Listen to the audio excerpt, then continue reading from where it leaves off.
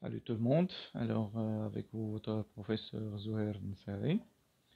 Alors nous sommes euh, arrivés à la septième leçon, droite remarquable dans le triangle.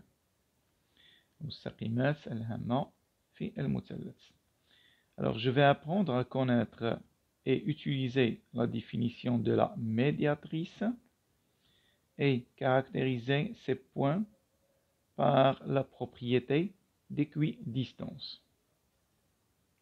Construire le cercle circonscrit d'un triangle. Construire l'orthocentre d'un triangle. Maîtriser le calcul de l'aire d'un triangle. Connaître et utiliser la définition de la bisectrice d'un angle et la caractériser comme ensemble de points équidistants aux côtés de cet angle. Construire cercle inscrit à un triangle. إذن سنتعرف على قاعدة واسط واسطة المثلث. كما سنتعرف على الدائرة المحيطة بالمثلث. كذلك سنتعرف على مركز التعامد بالنسبة لمثلث ما. كذلك سنتعرف على كيفية إيجاد مساحة مثلث كما سنتعرف على منصفات الزوايا وكذلك بعض خاصيتها وأخيرا سنتعرف على الدائرة المحاطة بالمثلث Alors, euh, je vérifie mes euh, prérequis. Alors, pour chaque question, indiquez la réponse ou bien les, les réponses exactes. Alors, on va commencer par la première question. Dans quel cas le point I est milieu du segment AB Alors, euh, on va commencer par la réponse, la première réponse, réponse A. Alors, on a ici, regardez bien, la distance AI est égale à la distance IB. I appartient à, AB, au segment AB. Donc, euh, on a ici, dans ce cas-là, alors I, I est le milieu de AB. Pourquoi? Parce qu'il y a deux choses. Premièrement, les distances AI et IB sont isométriques. Et I, il appartient au segment AB. Alors, pour la réponse B, c'est une réponse fausse. Pourquoi? Parce que I, il appartient à AB, mais la distance AI, est différente de, de la distance euh, IB. Pour la troisième question, euh, on a les distances sont isométriques, mais I n'appartient pas à AB. Alors, seulement la première réponse qui est juste. Pourquoi? Parce qu'on a ici I, premièrement, il appartient au segment AB. Deuxièmement, il est équidistant de, ses extrémités. Euh, alors, on va passer à la question euh, 2. Dans quel cas a-t-on tracé, c'est la question numéro 2, dans quel cas a-t-on tracé en rouge une hauteur du triangle ABC Alors, pour tracer un triangle, alors il doit être, la hauteur doit être perpendiculaire à la base.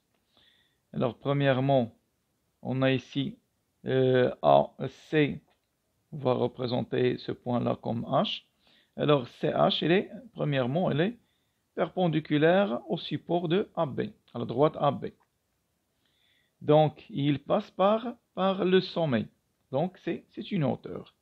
Alors, euh, pour la réponse B, c'est la même chose.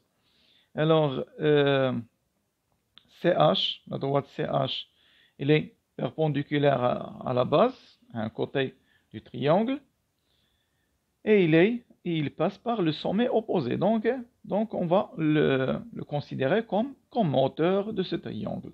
Alors, ليكون لدينا ارتفاع إذن يجب أن يكون عمودي على القاعدة ويمر من الرأس المقابل.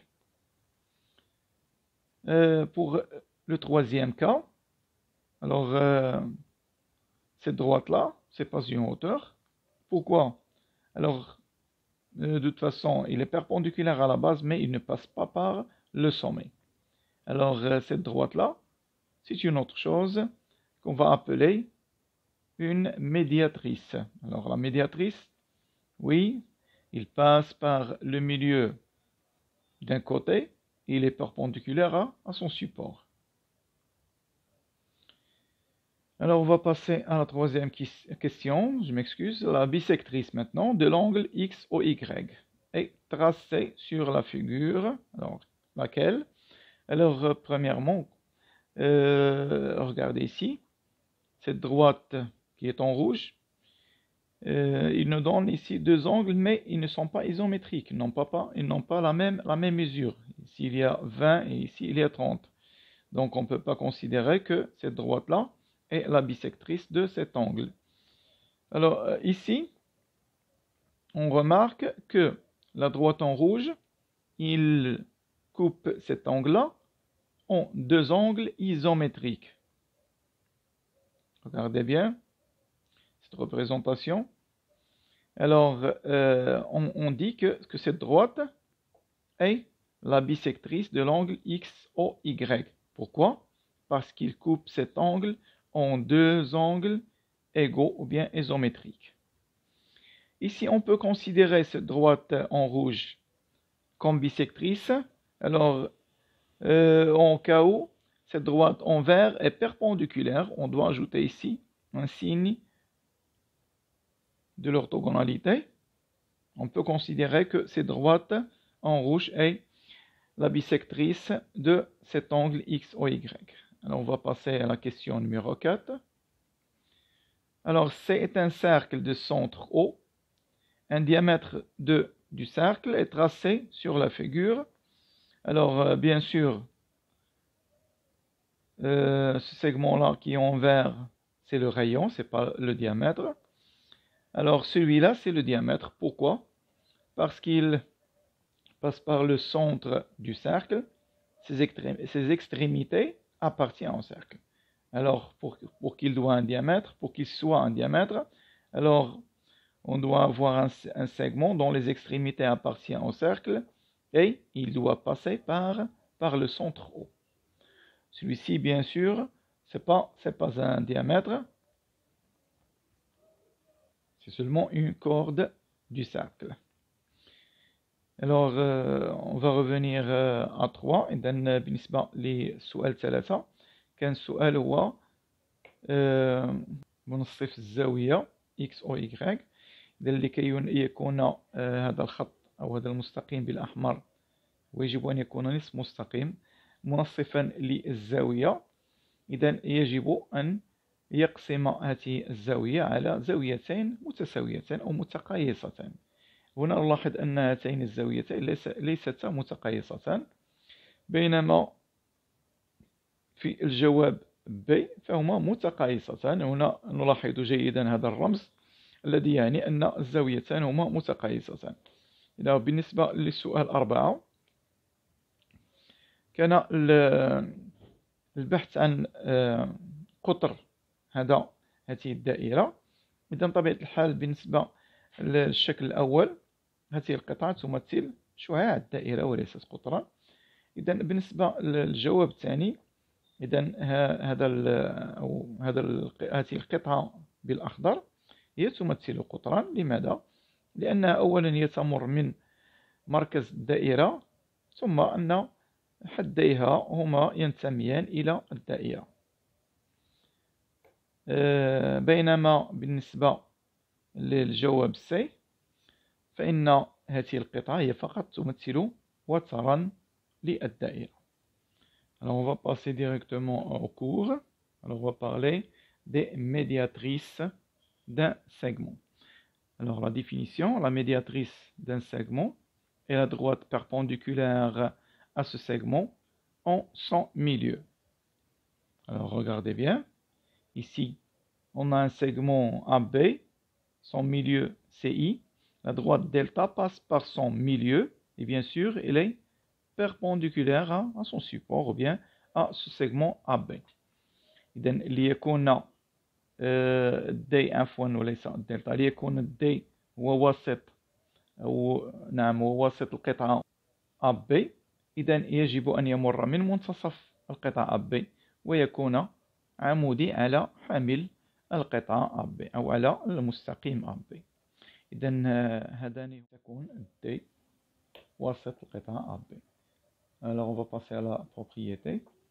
Si un point appartient à la médiatrice d'un segment, alors il est équidistant des extrémités de ce segment. Alors euh, regardez ici par exemple M. M appartient à la médiatrice du segment AB. M elle appartient à la médiatrice du segment AB. Conclusion, AM ou bien MA est égal à MB. MA est égal à MB. Alors, لدينا هناك معطيات M تنتمي إلى واسط القطاع AB. إذا النتيجة هو أن المسافة بين M و A تساوي المسافة بين M و B. Propriété réciproque. Si un point est équidistant des extrémités d'un segment, alors il appartient à la médiatrice de ce segment. إذا كانت لدينا نقطة على نفس المسافة من حدي قطعة ما إذا فهذه النقطة دي فهذه النقطة تنتمي إلى إلى واسط القطعة AB médiatrice d'un triangle et cercle circonscrit à un triangle. Donc on va passer à la deuxième partie médiatrice d'un triangle et cercle circonscrit à un triangle. Alors les médiatrices d'un triangle ABC sont les médiatrices, bien sûr, des côtés de ce triangle. إذن واسطة مثلث ما هي واسطة القطع أو Allah dans al-Mutallaf. Propriété, le point d'intersection des médiatrices d'un triangle est le centre du cercle passant par les trois sommets du triangle. Il passe par les trois sommets du triangle. Ce cercle est appelé cercle circonscrit au triangle. Alors regardez ici, on va commencer par les données. D, D' et D. Seconde, alors D, c'est ici en vert. La première médiatrice, la médiatrice du, du segment AB. La deuxième D'. Alors celle-ci c'est D'. C'est la médiatrice du triangle, de la médiatrice du côté BC. Et celle-ci c'est la troisième, D seconde, c'est la médiatrice du segment AC. Alors, ces trois médiatrices se coupent en un même point. Ils sont concurrents en un même point. Ce point, c'est le centre, le centre du cercle, du cercle circonscrit. Ce cercle-là passe par les sommets du triangle. D'accord? Est-ce que vous avez compris? Then, euh, إذن هذه المستقيمات الثلاث هي تمثل واسطات أضلاع هذا المثلث. سنبدأ بالضلع AB إذا الضلع AB واسط هذا الضلع هو هي المستقيم الدي إذا ننتقل إلى الضلع سي إذا واسط هذا الضلع هو المستقيم دي فتحة. كذلك بالنسبة للضلع سي واسط هذا آه، الضلع هو المستقيم دي فتحتين. إذا كل هذه المستقيمات أو كل هذه الواسطات هي تتقاطع في نقطة واحدة. تتقاطع في نقطة واحدة. هذه النقطة هي تشكل مركز دائرة تحيط برؤوس هذا المثلث.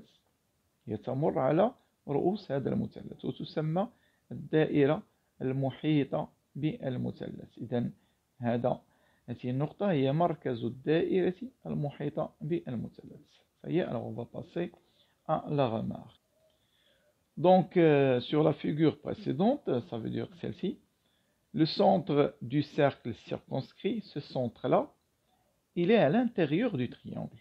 Il était à l'intérieur du triangle. Mais il peut aussi être à l'extérieur du triangle, comme sur la figure ci-contre. Alors on va passer en hauteur d'un triangle, définition dans un triangle, une hauteur est une droite passant par un sommet et qui est perpendiculaire au côté opposé. Alors la hauteur,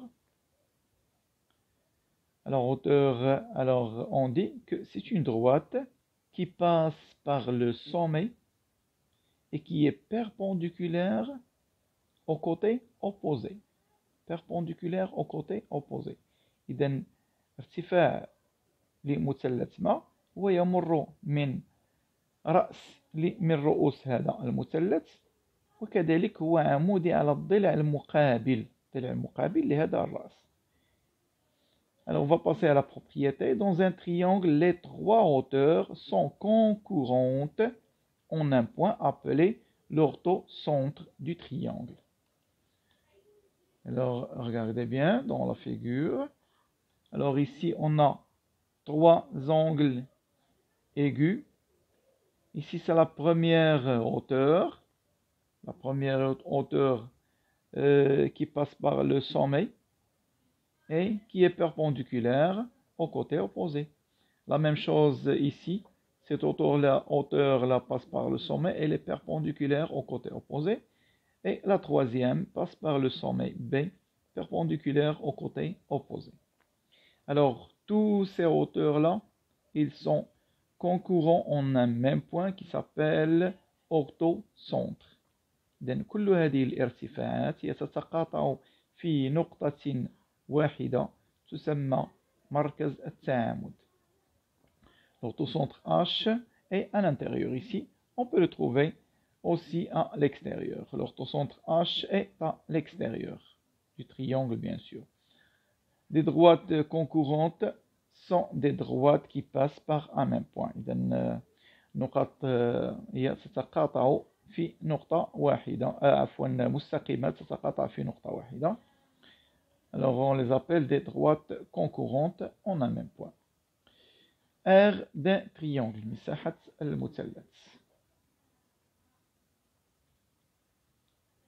Alors euh, on sait euh, tous que l'aire d'un triangle, c'est la base fois la hauteur divisée par 2. Quelle que soit cette base, on peut prendre le côté qu'on veut. Alors pour calculer l'aire d'un triangle, on multiplie la longueur d'un côté, un côté quelconque, par la hauteur relative à ce côté. Alors, par exemple, ici, on a la hauteur relative, c'est celle-ci. On peut la considérer comme un h. Bien sûr, ici, la hauteur relative à ce côté-là, c'est BH par exemple. Ici, c'est la même chose. Si on prend le côté AB, on, doit le multiplier par la hauteur relative à ce côté. Bien sûr, toujours on divise par 2. Alors, l'air, je m'excuse. Alors, l'air du triangle, c'est le côté fois la hauteur. Bien sûr, la hauteur qui est relative à ce côté, divisé par 2. Alors la remarque, la hauteur d'un triangle peut signifier la droite AH, ou bien le segment AH, ou la distance AH. Alors عندما نتكلم عن الارتفاع فإننا يمكن أن نقصد به المستقيم AH أو القطعة AH وكذلك المسافة AH. La hauteur AH d'un triangle peut être extérieure au triangle. Alors, on peut trouver la hauteur extérieure au triangle. Alors, on va passer maintenant à la bisectrice d'un angle. Définition, la bisectrice d'un angle est l'axe de symétrie de cet angle. بالنسبة بالنسبة لمنصف الزاوية إذن فهو محور dans la figure ci-contre, on a x au y est égal à z au y est égal à 1 sur 2 x au y. Alors, euh, x au z est égal à z au y est égal à x au y divisé par 2. C'est-à-dire que la bisectrice partage un angle en deux angles égaux. Alors, euh, la bisectrice d'un angle, alors il partage un angle ont, ont deux angles égaux, ils ont la même, la même mesure. Alors, propriété, si un point appartient à la bisectrice d'un angle, alors il est équidistant de des côtés de cet angle. Si M appartient à la bisectrice OX de l'angle AOB, alors MI est égal à MG. Alors إذا كانت نقطة تنتمي إلى منصف الزاوية فهي على نفس المسافة من ضلعي هذه الزاوية. Propriété numéro 2. Si un point est équidistant des côtés d'un angle, alors il appartient à la bisectrice de cet angle. Si ME est égal à MF, alors M appartient à la bisectrice de l'angle AOB. Alors, si un point est équidistant des, côtés d'un angle, elle est équidistant. Ça veut dire que ME est égal à MF, la même distance. Si on trouve un point qui est de la même distance des côtés. Alors, euh, vous savez comment trouver la distance entre un point et, une droite, par exemple. Oui, qu'est-ce qu'on fait On fait le projeté orthogonal de ce point sur cette droite et on trouve la distance. إذا إذا كانت نقطة على نفس المسافة من ضلعي الزاوية فهي تنتمي إلى إلى منصف الزاوية. لإيجاد المسافة بين نقطة وقطعة ما أو مستقيمة إذا فقط نقوم بإيجاد المسقط العمودي لهذه النقطة على الضلع AE أو bien OA إذا عندما نقوم بإيجاد المسقط العمودي لهذه النقطة على المستقيم فإننا يمكنني أن أحدد المسافة بين النقطة والمستقيم. إذن بهذه الطريقة هو فقط تذكير لإيجاد المسافة بين نقطة ومستقيمة. Alors, pour trouver ces distances, on fait le projeté orthogonal de M sur, sur la droite euh, OA et aussi sur la demi-droite, je m'excuse, sur la, demi-droite OF. Et comme ça, si on trouve qu'on a la même distance de ce point si ce point est équidistant des côtés de cet angle, alors il va appartenir sûrement à la bisectrice de cet angle. Donc on va passer à la bisectrice d'un triangle et cercle inscrit maintenant. Alors euh, les trois bisectrices des angles d'un triangle sont concurrentes. Alors euh, comme on a déjà vu sur euh, les médiatrices. Alors aussi les bisectrices sont concurrentes en un point. Mais ce point-là, c'est le centre du cercle. Maintenant, c'est le cercle inscrit. Il est dans le triangle ABC et non pas à l'extérieur. Il est à l'intérieur du triangle. Alors, c'est le centre du cercle inscrit. Alors, euh, le point de concurrent euh, de concours de ces trois bisectrices était à égale distance des trois côtés. Elle est à égale distance des côtés. Le point, elle est à égale distance du côté. On a déjà vu comment trouver la distance entre un point et un côté, ou bien et une droite. On fait toujours le projeté orthogonal de ce point. Alors, on dit qu'il est à égale distance des trois côtés du triangle. Il est donc le centre d'un cercle tangent aux trois côtés du triangle. Ce cercle est appelé cercle inscrit dans le triangle ou bien euh, au, triangle.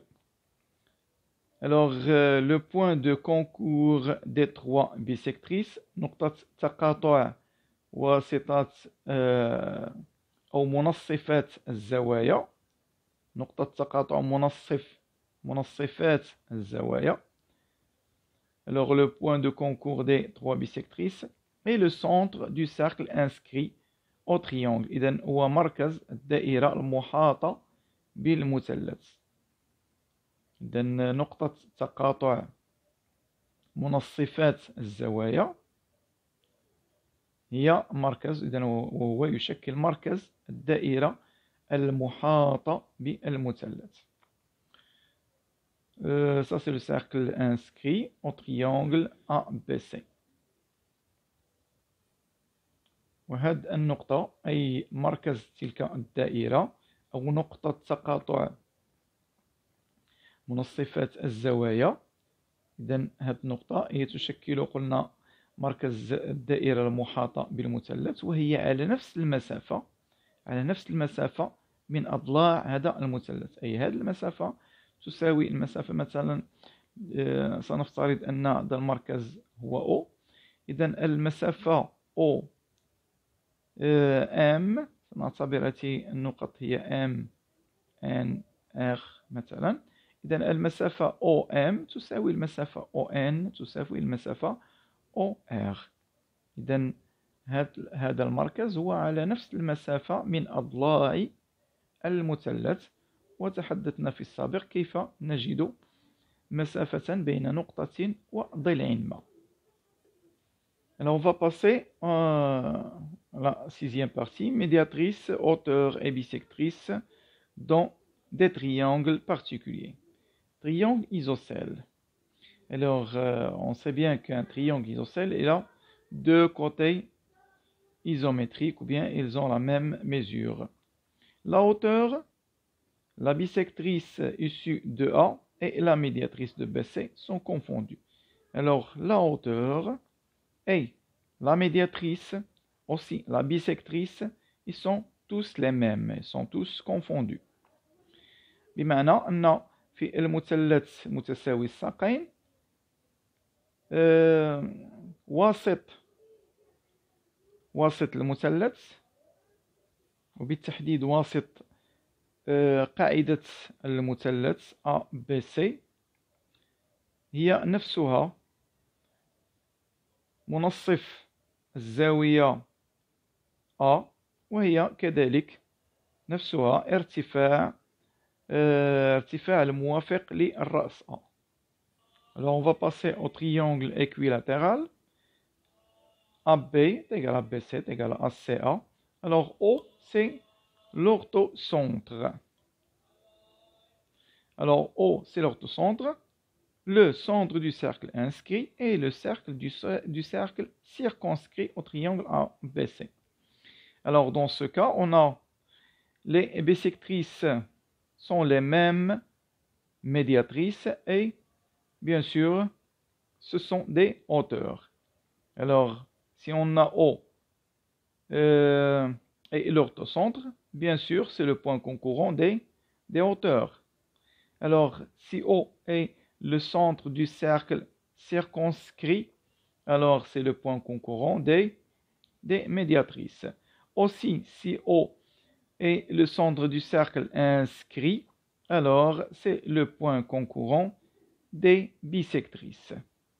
Alors, إذا كان لدينا مثلث متساوي الأضلاع فإن الارتفاعات هي نفسها واسطات المثلث وهي نفسها منصفات الزوايا زوايا هذا المثلث Alors, comme ça, on a terminé notre leçon. On peut passer aux exercices d'application.